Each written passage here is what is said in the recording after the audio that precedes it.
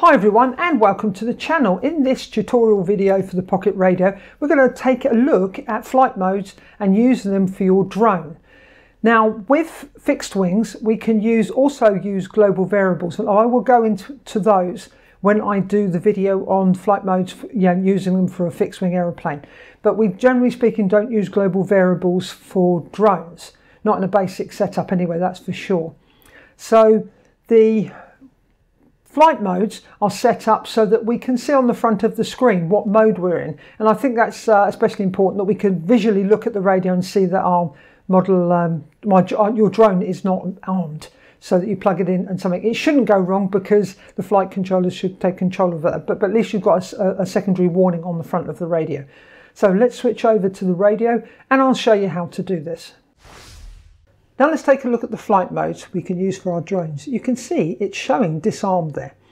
So if I push the mode switch, mode, mode, it still shows it's disarmed. So now if we arm, Armed.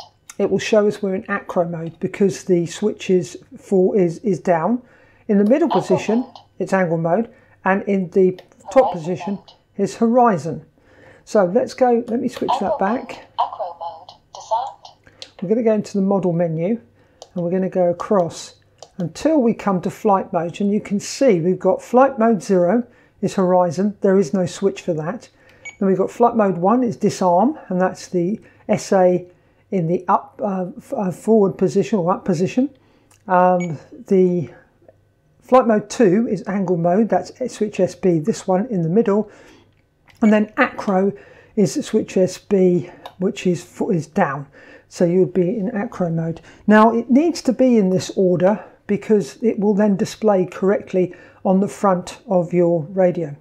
Now with drones, that's really about, about, about it. This allows us to see what mode we were on. I mean, you I know you would be flying, but uh, you will be able to display it on the screen. And what's especially important is, of course, the disarmed, the disarmed mode, that's telling you that your drone is not armed.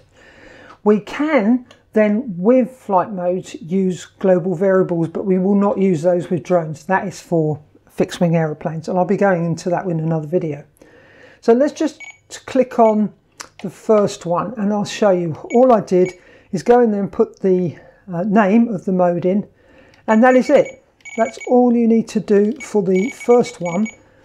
If we come back out, and so that's the horizon mode. Now for the flight mode 1, sorry about that, flight mode 1 if we enter, you can see I've put the mode name in, disarm, and I've just selected the switch SA in the up, up position. And that's all you need to do. I do hope you found this video useful. If you did, give it a thumbs up, and if you didn't, give it a thumbs down. And if you have any comments or questions, please leave them in the comment section below, and I will try to get back to you as soon as possible. Thanks for watching. Happy flying. Bye for now.